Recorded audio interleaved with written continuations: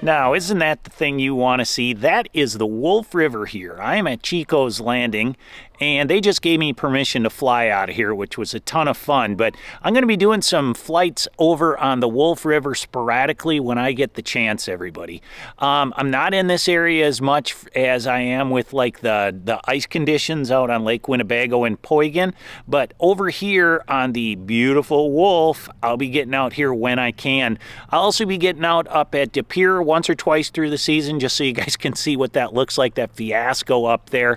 Um, in that area, and then also over in Oshkosh. So that'll be kind of at the oh, I forget, Rainbow Park right over there. So some more flights coming up and also a little bit more drone ice conditions. Hey, subscribe to the channel if you haven't subscribed. It does not cost you a darn thing.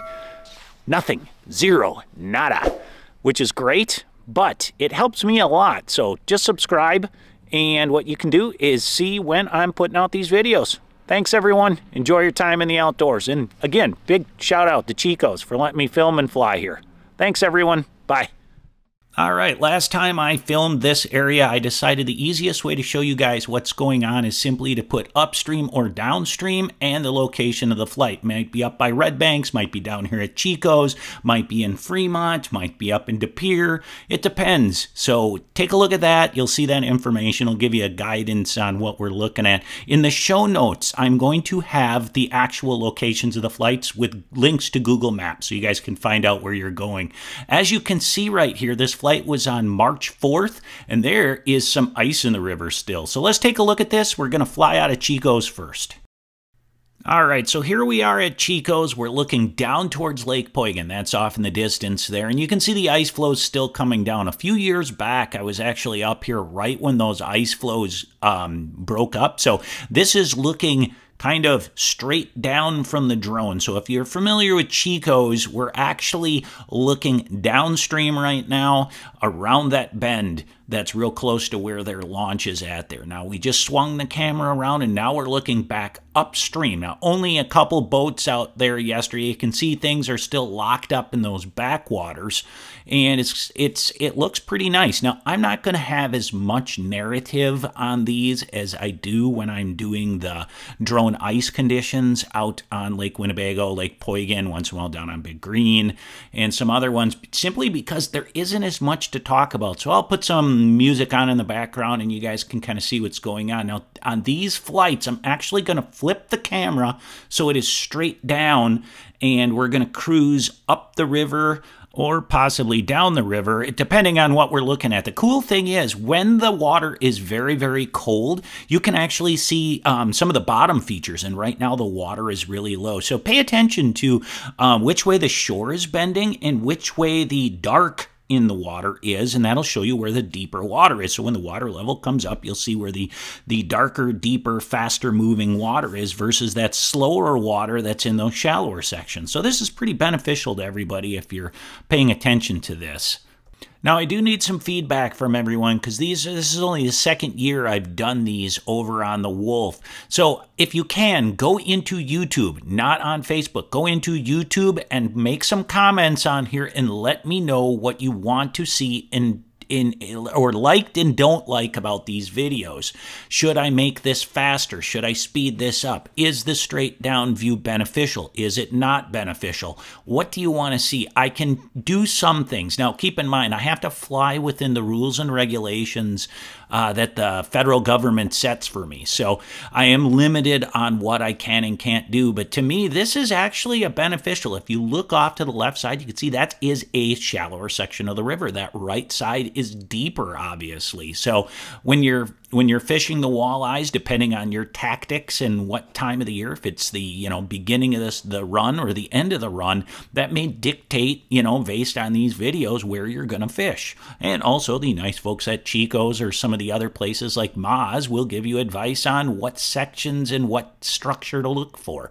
So give me some feedback. I really need the feedback, everybody. It helps me get these videos better and more beneficial to everybody.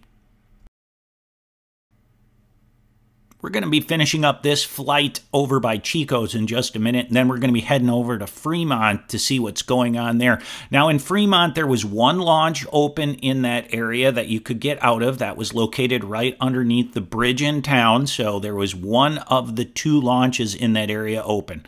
So uh, the guys over at Moz said the fishing in that area has been slow, but there's still ice fishing up in the lake that's just to the north there. So if you're interested in heading over that direction and in and maybe going ice fishing a little bit as long as the ice is safe. Um, you could do that, and then you could hop in the boat and go regular fishing in a little bit.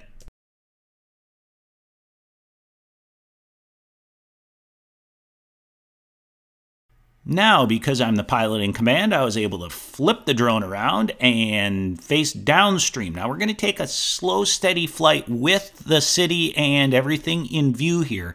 Now, I want some feedback from everybody. Again, go to YouTube, put a comment in there, tell me what you like and don't like about this.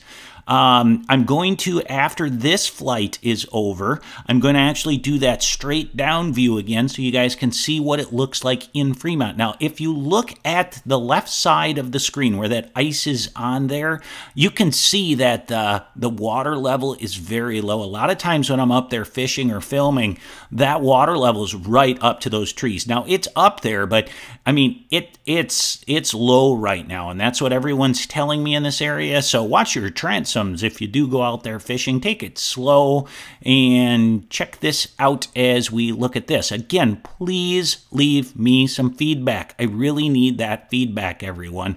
Um, I'm just going to let you watch this. I'm going to just stop talking for a minute here, check this out, and then I'll flip on that other one.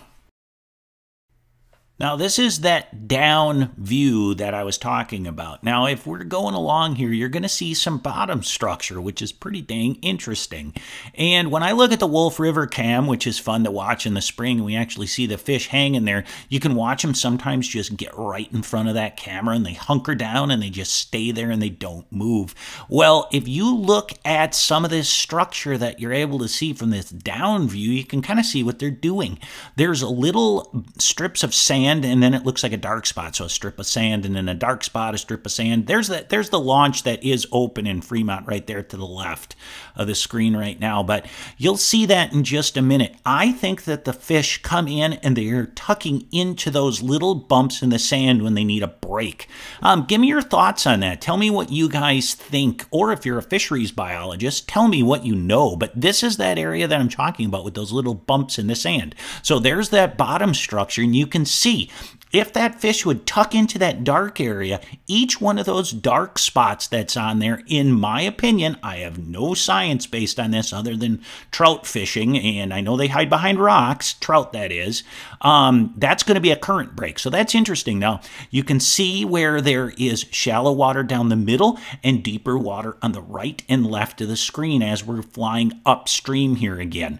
Um, it's hard to fly the drone this way and actually get some good footage and keep it in. That's Wood Webfooter's launch right there down to the left. Um, you can see that that one's not open yet. And when you're looking at this, just keep in mind where are the fish going to be? What are the fish doing this time of year?